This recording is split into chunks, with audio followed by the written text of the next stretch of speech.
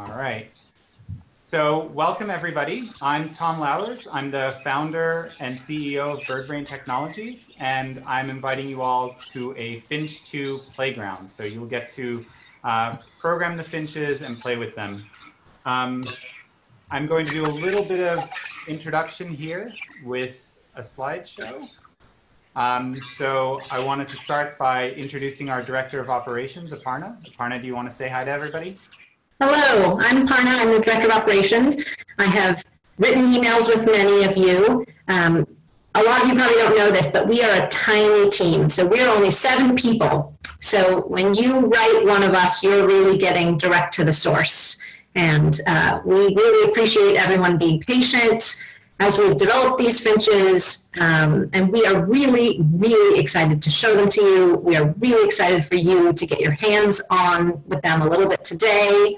Um, I see Audra here from Massachusetts. We're going to be presenting at a conference that she's organizing, and we're super excited about that. Um, so I just wanted to say hello and say how much we appreciate you coming here to learn about the finches and spreading the word for us because really for our team what you think is really important these these were built based on your feedback and some of you literally your feedback so kay is on the line she was a finch robot loan program i have literally read every piece of feedback that a finch loan teacher has given and that's over a thousand teachers. And so we really took that feedback into account when building the Finch 2. Um, and so we really um, designed it for you, and we can't wait to get it into your literal hands um, and hear what you think. Yeah. Absolutely. Thanks, thanks, Aparna. And I mean, so you can for those of you who do not know, Aparna runs our loan program. Um, so the Finch Robot Loan Program is a program where you can apply to borrow free loans of the robots if you're a school teacher or librarian. And so, um, yeah, we're going to be looking at getting the Finch 2s into that loan program just as soon as we can, as hopefully as early as early next year.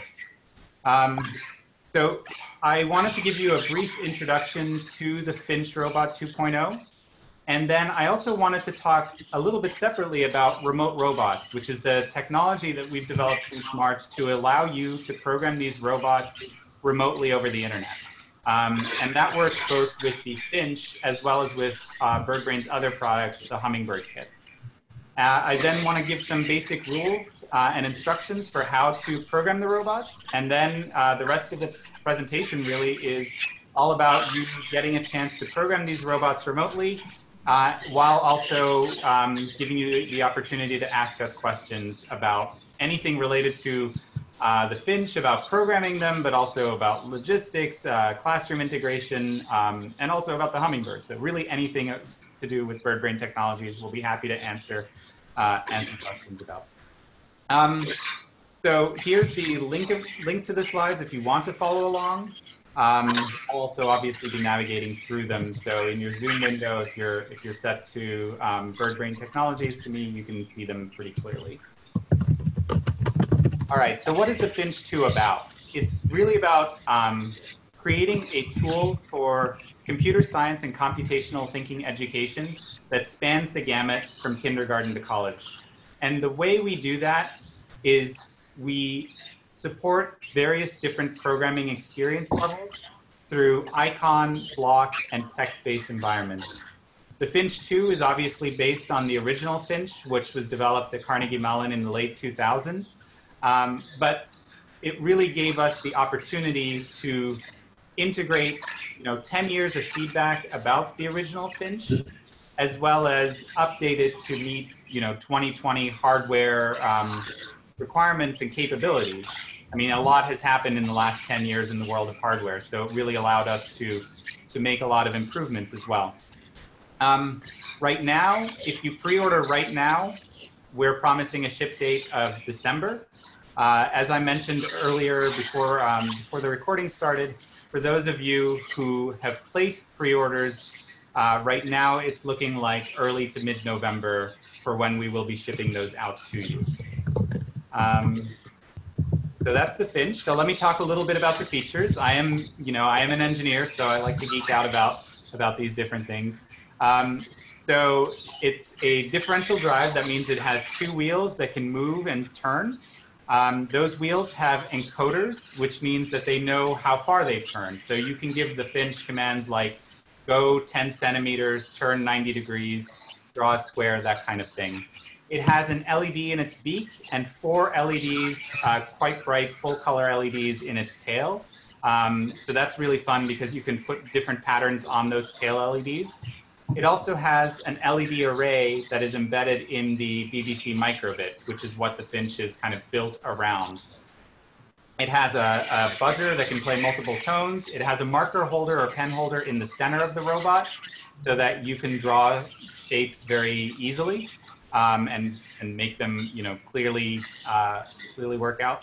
And then it has a plastic brick adapter, which allows us to allows you to basically customize your Finch, add things to it, um, add different, you know, perhaps well-known plastic bricks to it, um, as well as potentially future accessories, mechanical accessories. And then in terms of inputs, it has line sensors on the bottom, so it can track a line.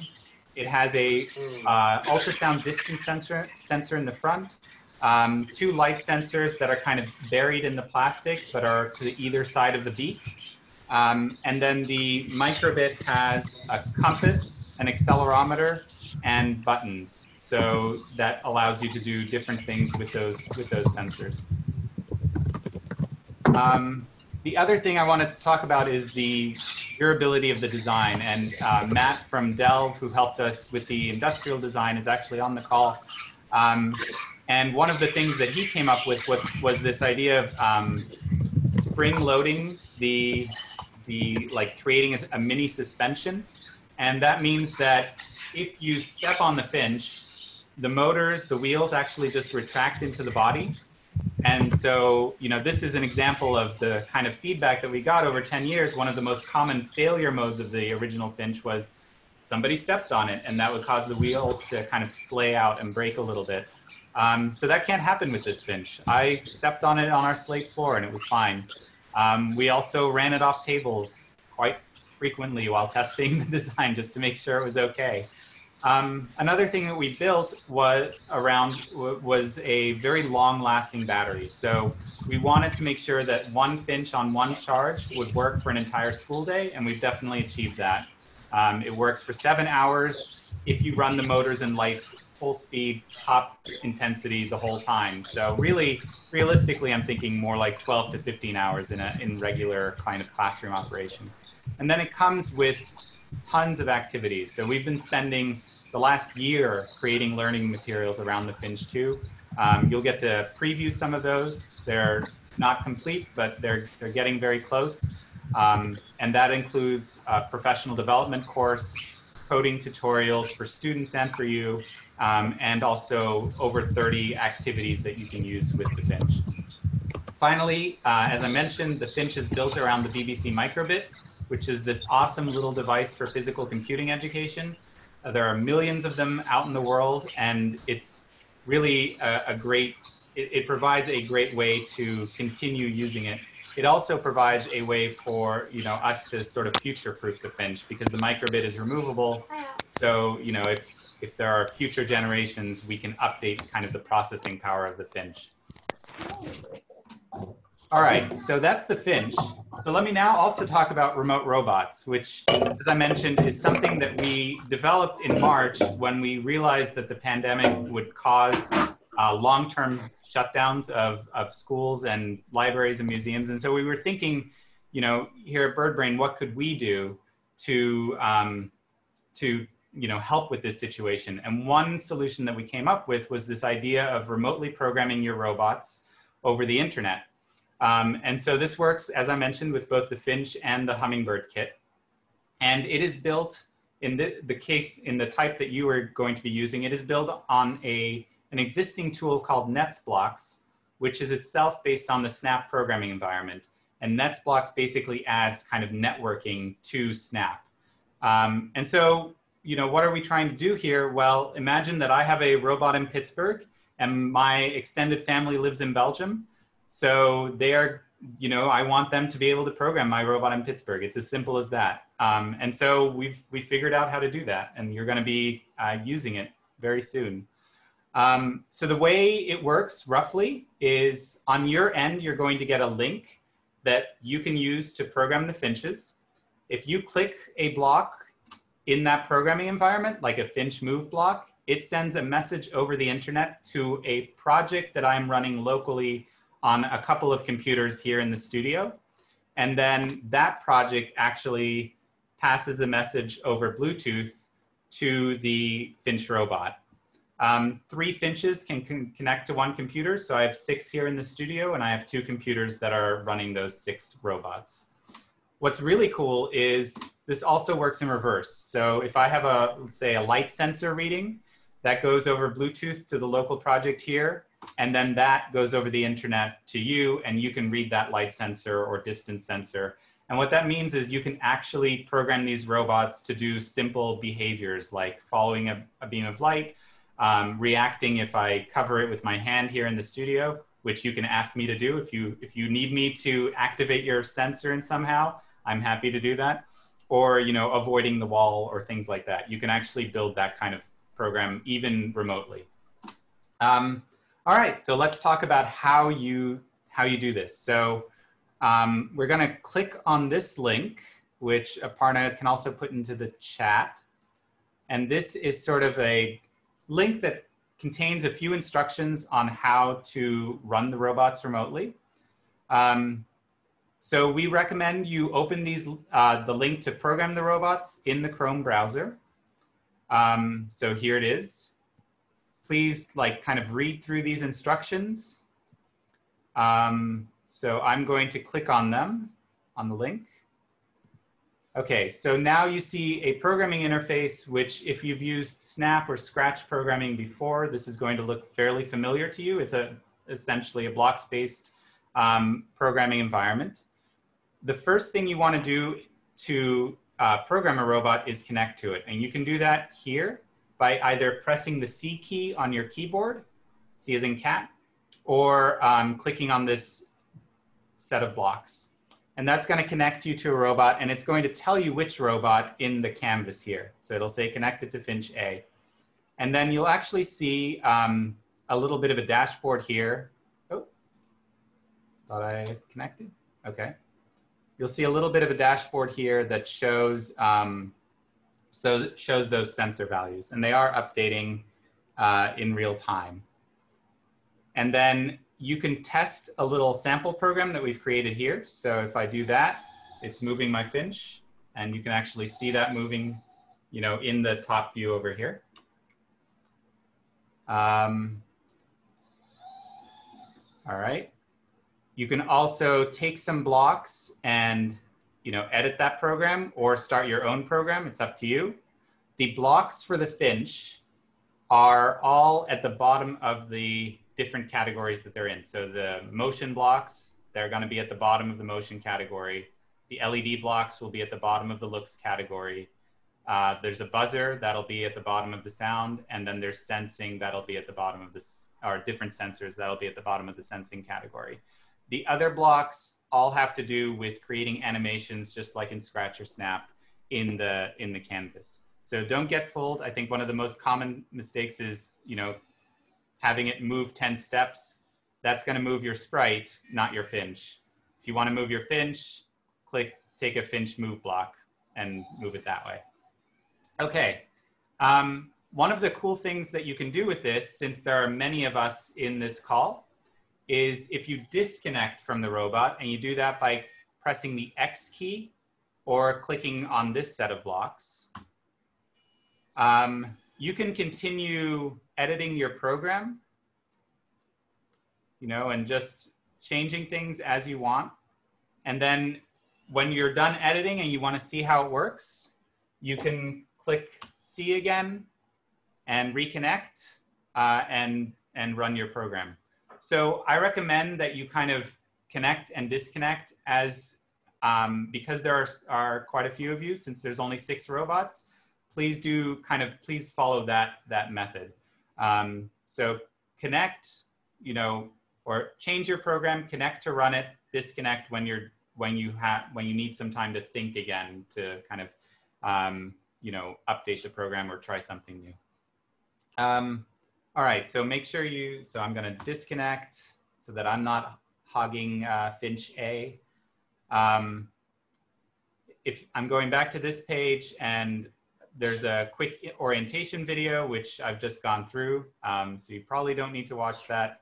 Here's a description of all the snap blocks, um, which tells you kind of, you know, like what numbers to put in the Finch beak block to make it go, or, you know, what, how the distance sensor works and what, what range to expect from that. There's also some programming tutorials and then some suggested activities. So this is sort of a preview of our um, of our educational materials as well. So please feel free to take a look at those, maybe try out the dance bot or the spirals or the squirrel bot. And then there's some troubleshooting instructions if something isn't working for you.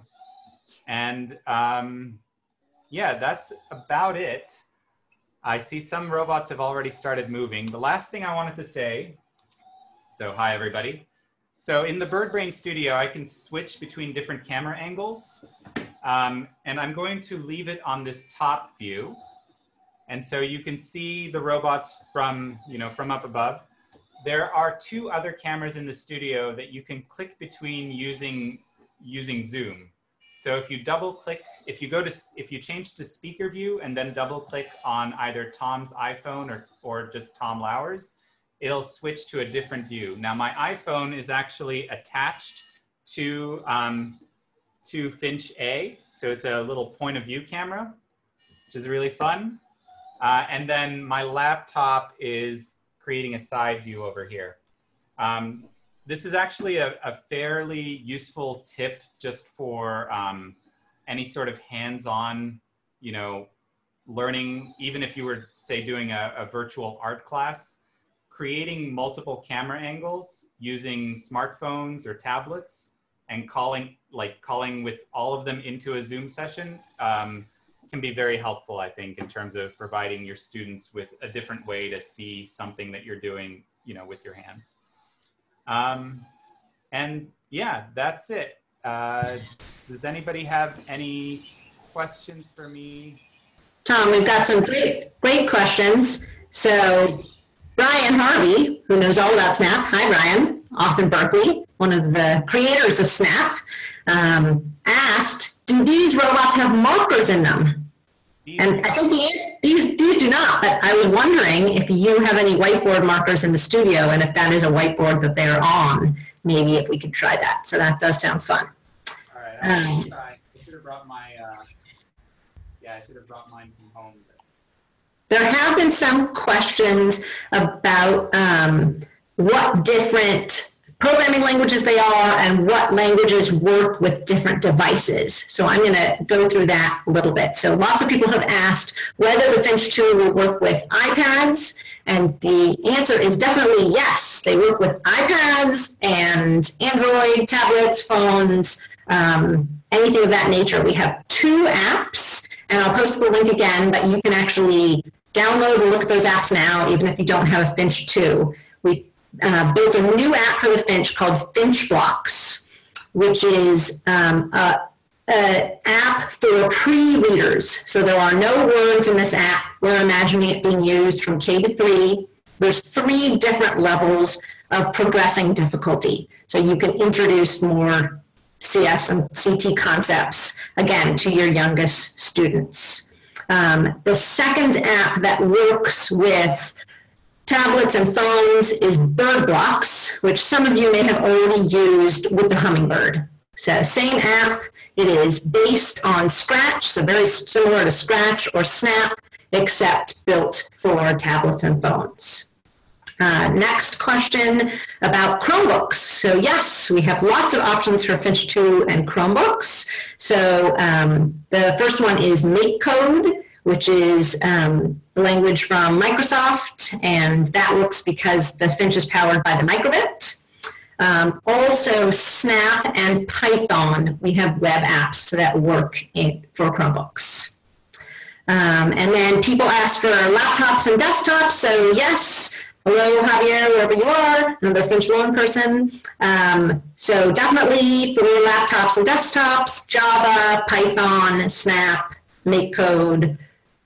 I'm missing something. I forgot which one I didn't say. But yes, all the standard languages work for laptops and desktops. And yes, I will post a link to the apps. Um, and did do, I'm going to post it for the Apple Store, but I can um, post them for all three if people want to see it in Android or in uh, Fire OS. Um, I do have a question. Do these sites work for the original Finch? And I'm not sure if a person could elaborate what they mean by sites. I will be able to answer you. And Eileen, hello Eileen, another Finch loan person, asked um, if how they can you can learn to set this up. So again, just a second, I'll, I'll send a link to a page that again, all of this remote robots is brand new. So we started doing this once the pandemic hit, once schools shut down. Um, so we have just started building these capabilities starting in April. So these pages are ongoing. But yes, you can do remote robots yourself, of course with Finch 2s, as we're showing here, but also with Finch 1, so the original Finches, which I know a lot of you have. Um, so we were planning, in other playgrounds, people have asked for a webinar on how to set up remote robots with their Finch 2s. And we are planning that for the end of November once everyone has their Finch 2s. But people should let me know in the chat and if they're interested in another webinar on how to set up remote robots with your Finch ones. So if lots of you have Finch ones already and you want to learn how to set those up remotely, we can do a separate webinar on that.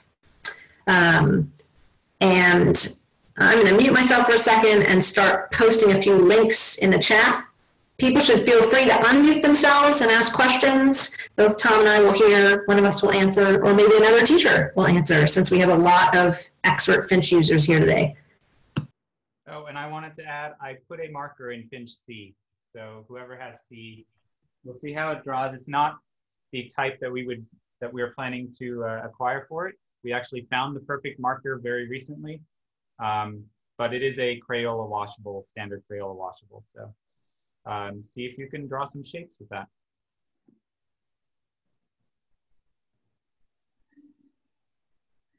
Oh, Finch F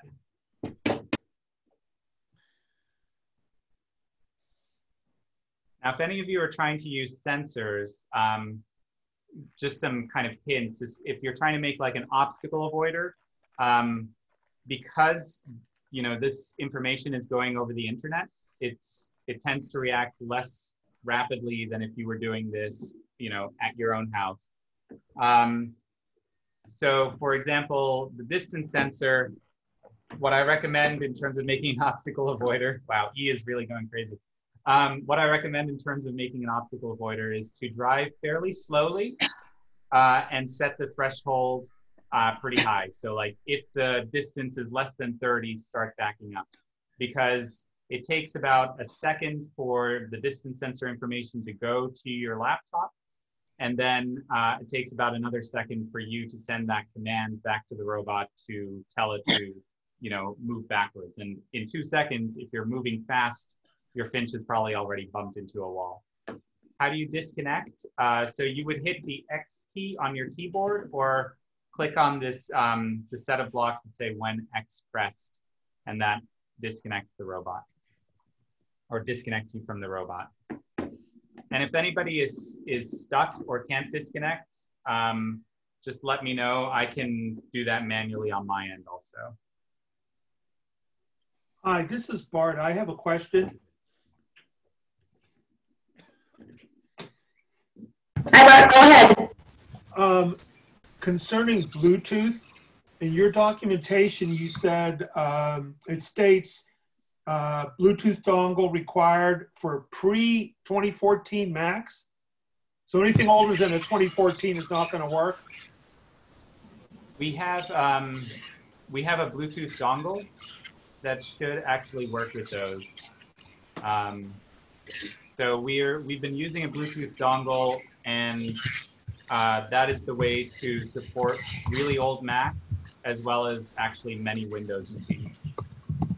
Okay, I'm, I'm always looking for an excuse to upgrade my hardware. That's why I asked. Well, it's probably still a good idea. I didn't mean to take your excuse away. Thank you.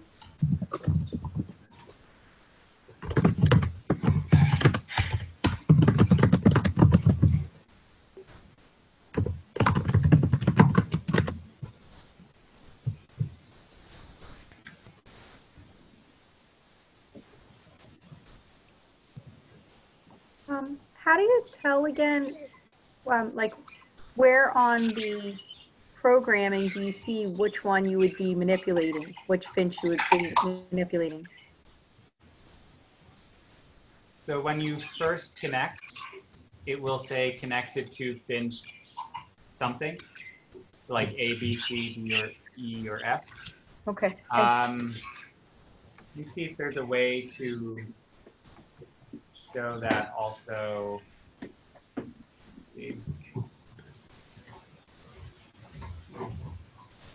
Yeah, so you kind of have to see which one you've got right then, right when you connect. Um, so right now we haven't made a simulator, and we honestly aren't planning planning to right now. Um, we put more more work into kind of making this or making remote robots or one-to-one robotics work. Um, I mean, honestly, like this may be a philosophical thing, but for me, once you remove the the robot, uh, I think you get as much out of you know code.org or Scratch or any other type of, of kind of animation and media programming environment. So the simulator seems less useful to me at that point.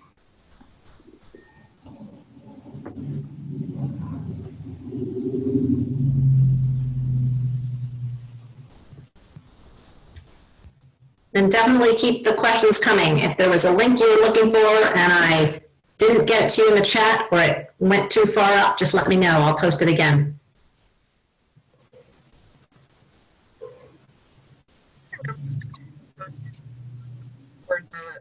Learning how to do this, your own lab creating.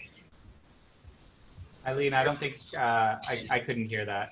It's too I'm quiet. sorry, did she post a link yet for it, like creating, if we wanted to create our own labs? I know she said something about in November, but I didn't know if there was something else to learn how to create a lab like this, a remote lab. Nope, I will post that right now. Thank you. I knew I had forgotten something. Uh, minimum space for a playground on how much area for each robot. Those are great questions. So we're i- like this particular, um, you know, playground that I built is four feet by four feet. I think that that probably is pretty close to your minimum. Um, Eileen, who is on the call, Eileen Malik, uh, is going to test a swimming pool. I think like a kid's blow up swimming pool, which seemed like a good idea. We'll see how the surface does. Um, but like in terms of creating walls, yeah, there's cut it. You see your view. Um, in terms of creating walls easily, it's, it's much easier than than building it out of wood like I did.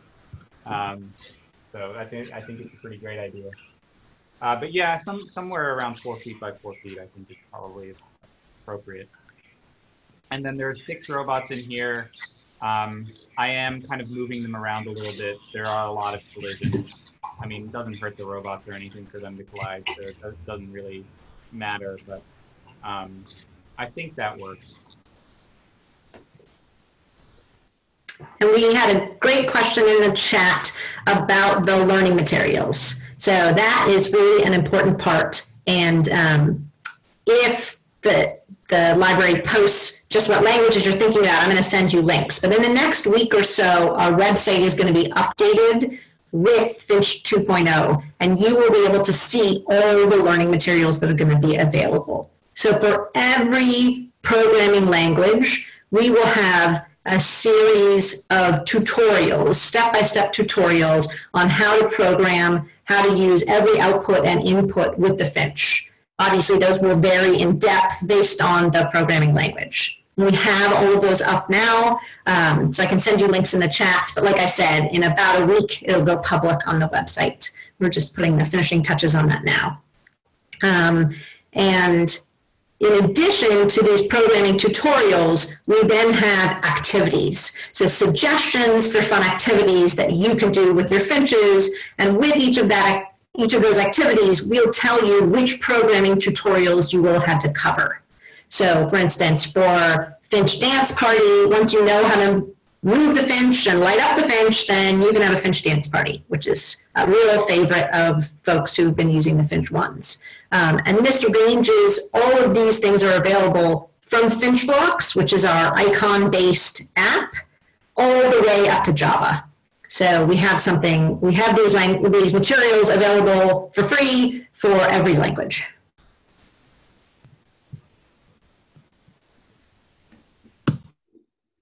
Hi, this is Rex. Can I ask what's the uh, sensors that Bill put on top and he added on uh, the uh, Finch A? I'm looking at like, is it carrying a cell phone or something like that? Yeah, so Finch A, I didn't hear all of that, but Finch A is, is um, you know, I have, actually my kids built a little like phone mount out of Legos. So kind of show that from the top view or the side view over here. Oh yeah. Um, and it's holding my iPhone and that iPhone is called into Zoom. Um, so that way you get this cool little point of view camera uh, to play with. Oh yeah, that's right. Because on, on top, it's like the on top of the Finch 2, it builds with a Lego type of setup, right? Very good. Thank you. Yeah, so there's a, a block grid um, like to to put basic Legos on. Yeah, so some of the activities that were really fun with the Finch One is we had a lot of people who were very creative about building things onto their finches. So they would play Finch soccer, and sometimes they would build little, the kids would decide to win. They would build little scoops on the front of their Finch so that they could collect more balls or be more aggressive. Um, and so we created a lot of activities for Finch too. That's why we built the Lego plate also, the pen mount pole can be used to put in a popsicle stick or a straw or something else that you can then use to build things. So one of the activities that we were testing out at conferences earlier this year when you could physically go to conferences was finch jousting. So, you know, you have a finch and you have a target, for instance, like a cup with a ping pong ball on top of it. And the kids have to figure out how to program their finch you know, build something on their finch so that they can hit the target and get to the target. So measurement, distance, all sorts of great, you know, tie-ins to the curriculum there, and just super fun. Someone was mentioning the costumes, so we really like costumes. That was like one of our funnest parts about Finch One. People would dance, dress them up and have dance parties. Uh, we had a school do a whole jazz unit where every Finch got dressed up as a different jazz singer and was involved in a very uh, interactive multimedia presentation. Um, and so we're hoping that both the central marker hole as well as the Lego plate will really enable a lot of creativity um, and just that extra level of physicality so you can build things onto your Finch to accomplish engineering tasks. I see somebody asked about the marker. Um, so there's a marker hole in the center and on Finch C, it's actually, um, there's a Crayola washable that's just in there. Um, so if you program Finch C to move around, um, you should be able to draw a shape, like make it draw a square or triangle. Um, now that marker hole can support most types of markers and pens. Um, we have found that the Crayola washable with a paintbrush tip creates the best lines. So that's what we're going to be recommending for it. And uh, what else can I say about the marker hole? Uh, it's in the center, and that way, you know, it, it can draw shapes quite quite easily. All right, I see C is move, starting to move here. Uh, let me adjust it.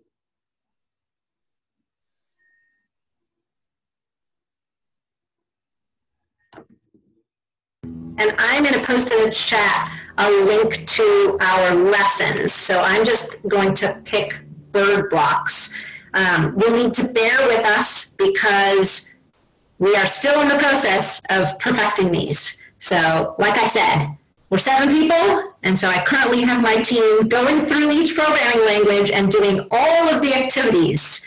And so every time they come up with some little tweak, we're updating everything. So um, check out these ones for BirdBlox. They're going to be quite similar for Snap and MakeCode, which are languages that are, you know, fairly at the same level. And if you if you look at them, you'll see they start very basic, right? They tell you how to move the finch forward, how to turn the light on, things that you guys have figured out just from playing around for a few minutes on the playground, and things that your students are going to figure out in just a few minutes. But if you keep going down those lessons and you go to going further and you look at some of those, you'll see that really in the block-based languages, and uh, Brian Harvey will definitely back me up on this because he has a whole fantastic article about this, which I'm also going to put in the chat, that block-based languages are not baby languages and they go very deep and there are a lot of really deep things that you can do in block-based programming. And so that is really one of our core tenets. We want things to be low floor, but we really, really want to build products that are high ceiling. So for us, yes, that includes being able to program in standard Java and Python so that you can use it for APCSA.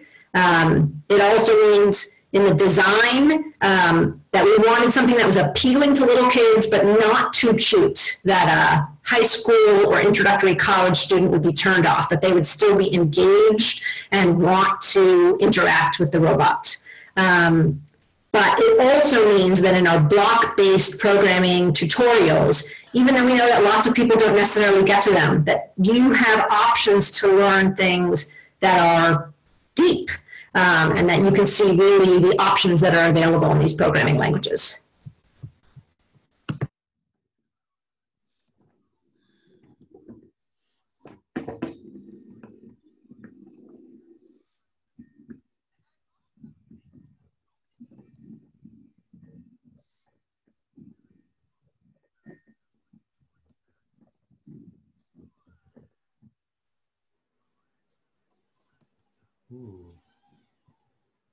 I think uh, favorite new feature. Well, I mean, the one that everybody wanted and that I'm excited about also is not having a USB cable um, and having, you know, Bluetooth connection or autonomous mode for programming the finches. Um, but I think in addition to that, or what that really meant for me was being able to make the finch move precisely. And so I would add that as my favorite new feature also. It really led to a lot of different things, right? A precise movement, which allowed us to put a marker hole in the center and make that, you know, really robust. Um, so I would say all of it, all of that, um, all of the implications from that.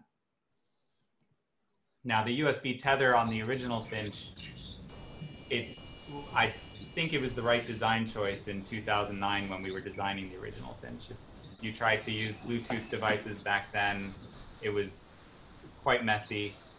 And we really, really wanted to support Java and Python, standard Java and Python programming on the original Finch. And so the USB tether was the right way to do that. But it's, uh, it's good to see that in 2020, you know, technology is caught up. Yeah, the Finch leash, that's right. And one thing that was a plus about having the tether is that there were no batteries to run out. So someone did ask earlier in the chat about the battery. So the battery life of the Finch is seven plus hours, and that's if you're running everything all the time. So really, the Finch should very easily, the battery should last a full school day of use. So our thought process behind that was that teachers would want to, could recharge it overnight. But we really wanted to make sure that it would definitely last for the whole school day, no matter what you wanted to do with them.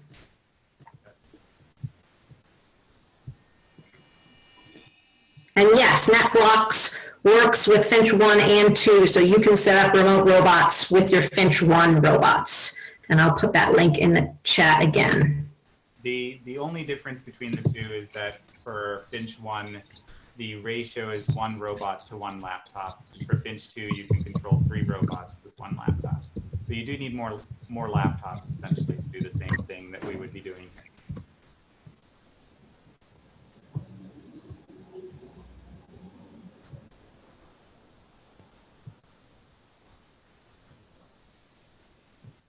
And yes, I agree with the poster about Brian's article being amazing, and we're super lucky to have him on here. So it was very exciting for me when I saw that he had registered for the webinar. So thank you, Brian.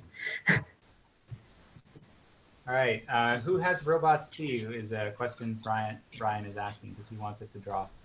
Uh, so if you have it, maybe consider disconnecting. It's the only one that I can't see if it's connected or not because of the tail. The micro:bit display actually tells me, yeah, somebody's definitely connected to it. Um, okay, thank you. Tom, we are getting a few questions about Finch 1 remote robots. So maybe you want to just say a few words about how they differ from Finch 2. Um, so with Finch One, you know, basically the remote robot thing works with any robot that is supported in Snap. So that's all of ours plus a few others that are out there. If you know, if you also do the work of making it work in NetsBlox. Um, with the Finch One, what you would do is you would uh, launch the BirdBrain robot server. Um, which is what you use to program it in Snap. And then you, you know, with the BirdBrain robot server open, you would open NetsBlox and you'd be able to kind of follow the instructions to make your, your Finch one remotely. So it actually works very similarly to how the Finch 2 works. Um, like I said, the only difference is that you can only have one Finch connected to the laptop. All right, I think C is moving. Okay, so NetsBlox, great questions. Um, so NetsBlox is a is a project at Vanderbilt where they kind of took Snap, which is open source, open source, and they added networking features.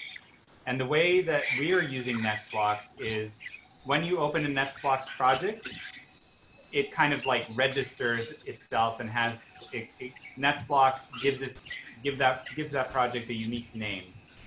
Um, and so if that project then knows the name of the projects here that I have open, then it can communicate with those projects. So they can send kind of messages back and forth.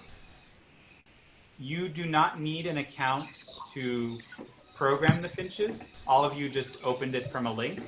And once you opened it, it kind of created its own link. So you know when you're editing your version of the of the code it's not interacting with anybody else's version um, you can create an account and then save that code to the cloud. You can also export it into an xml file. So that's very much like snap in terms of what what you can do in terms of saving and loading. And then if you were to set this up yourself um, you would need to create an account. Like there's no way to get around creating an account if you want to be the one kind of hosting a remote robots session. Um, but making an account is free and easy, so it's not a big deal. Oh, I see some interesting shapes being drawn there.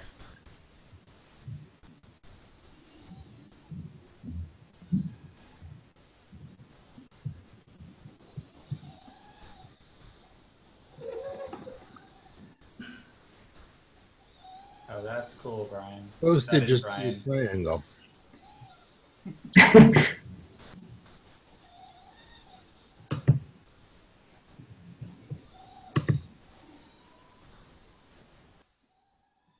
And just to give you a little insight on some of the other things we're working on. So like Tom said, we are hoping that any day the finches, which are just about finished in their production, are going to get on a boat and be on their way across the ocean to us.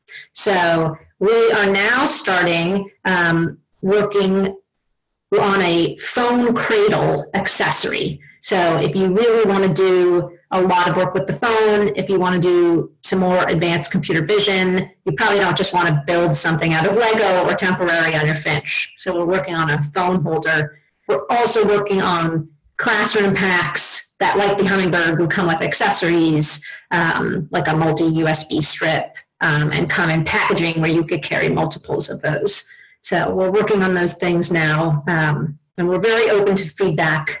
Like I said, almost everything we built into the Finch was a result of feedback, some directly from some of you. So if you guys have suggestions or things you want when you look through the materials, if there's something you're looking for and you can't find it, please, um, you know, when you send, even when you send an email to info at Birdbrain Technologies, you're really getting one of us. So um, we really do want to hear from you.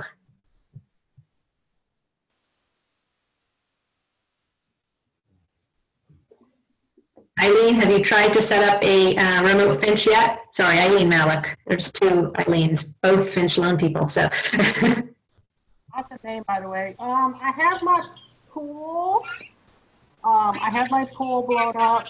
Um, the bottom is a little wrinkly, so I'll have to figure that out. But um, from a teacher friend, I got this Bunsen burner stand since we can't use Bunsen burners in our face-to-face classroom full time. Um, and then I can put my camera on top. Like I have a cracked camera, but the uh, a cracked phone, but the camera's still good, so I can put that on top of my Bunsen burner. As soon as I figure out, I'm thinking about taking out the bottom from the Finch robot. Um, is there an expo marker that will work that'll fit in here? Because my expos are too fat, and I want to use expos because I have a big whiteboard I can lay down on the ground and maybe cut the bottom out of the. Floor. There are thinner expos, um, and there is, for those of you who haven't seen the Finch, which is most of you, there is a little rubber gasket inside that hole, which should hold that thinner expo tight. If it doesn't, um, we had someone this summer try just taking it, he took a cue card and rolled it and put it around the top of his marker so that the top of the marker wouldn't wiggle. So that worked fine too. Yes, temperature sensor. I know Eileen. Eileen loves the temperature sensor, and that's the one thing we didn't keep. In tags, in fish tags, so they can take temperature, or they can perform experiments with temperature um, for environmental classes as well as our regular classes.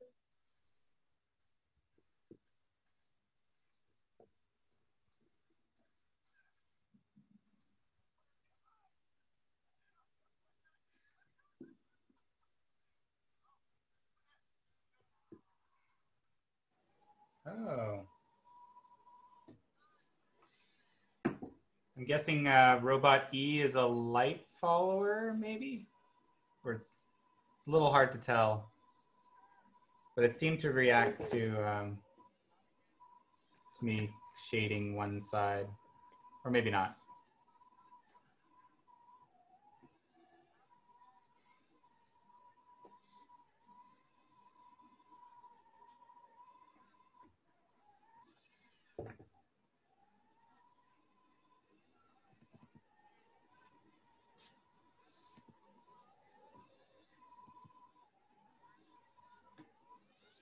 All right, we have a question about how to remote into a Finch. So um, Aparna will put the link to the Finch instructions in the chat again. Um, and then there's a big kind of on the page that she's going to link to, there's a big, you know, link to Finch um, button that you can press. And then once you're in there, you'll want to hit the C key to connect to a robot.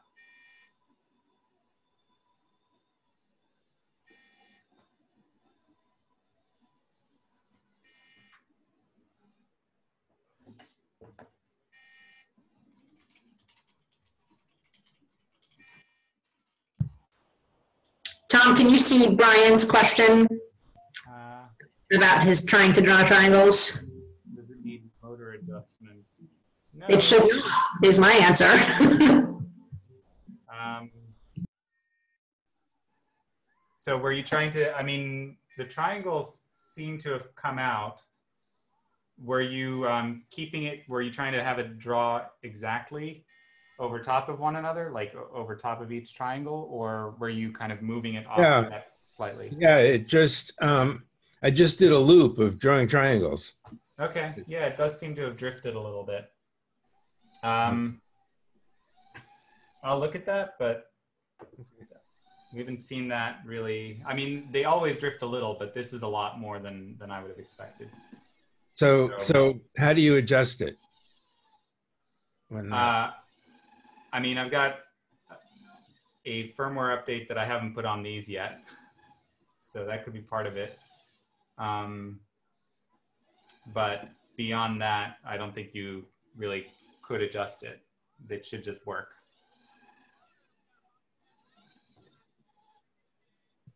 okay, thanks. Could be the um, the friction plus the pen.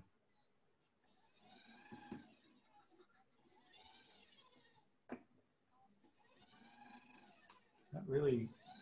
Hmm.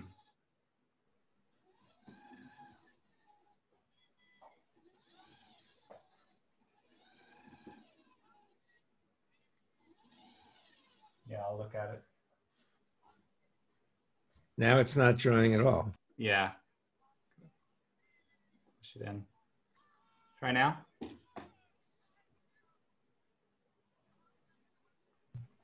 I don't have it now. Someone else has Okay. it.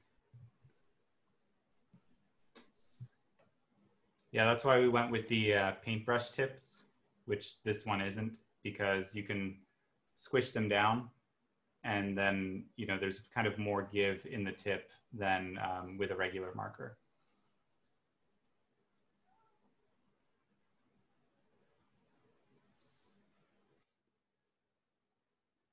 And in a private chat, someone was um, asking about grants. And so I thought I would post here, just in case people don't know, that we do have a grant assistance page, which links you to our media kit. So it has photos and logos. It also has a lot of text that um, people have used in previous grants about why computer science is important, why physical computing is important, details about our products. Um, and also li- links to a lot of grants that we have found. Um, and so if you have a favorite grant that isn't up there, please let me know and I will add it to the page. Um, but really, we want to support you in any way we can in applying to grants for our products. Um, the, you know, the main reason that we have the Finch Robot Loan Program is that we understand that all schools cannot afford to buy robots. And it is really, really important to us that we build products that we really think will inspire and motivate and open kids' eyes. And we want every kid to have the chance to program a robot during their normal school day. So, not only the kids that can do special programs or have parents buy them for them, or only in school districts that can afford them. So, it's really important to us to um, to commit to having loaners. So um, as I mentioned before, we do we are loaning out the Finch One robots right now. Um, this year is special because nobody knows what's happening with their school year.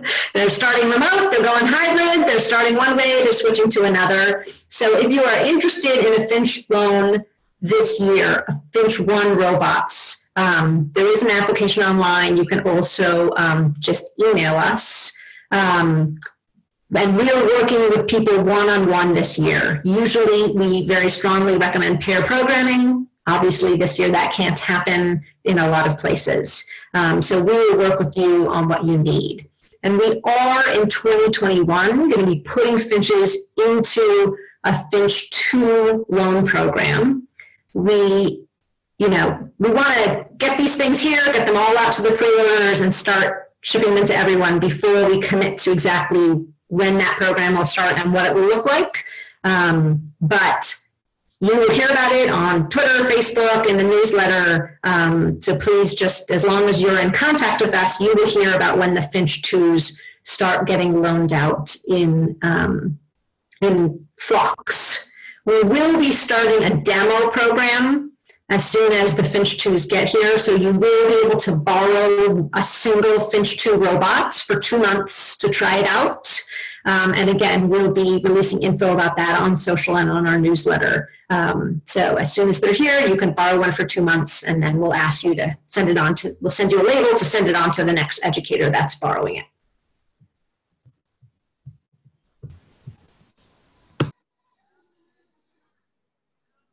All right, and we've got about three minutes left. So, um, you know, I just wanted to thank everybody for coming and playing with the Finches. Um, I'll give you another minute or two if you want to do a final program or a final run to see see what you've created. And um, yeah, wanted to give everybody, you know, a good time limit warning because I know sometimes time can sneak up on us, especially in 2020. Time seems to be different than normal.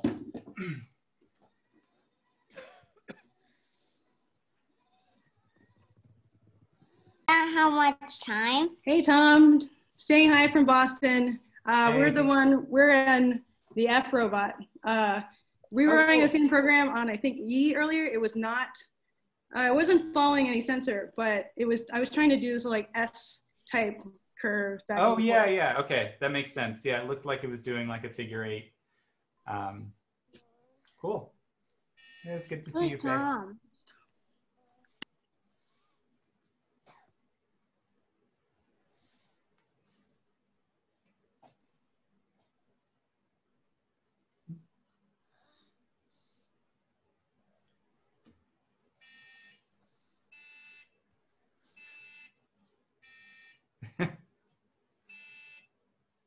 All right, I, I hear somebody uh, trying to play music. Yeah, you can do that. We saw that with the Finch one also. A lot of Mario Brothers and Final Fantasy theme songs. Good eight eight bit music.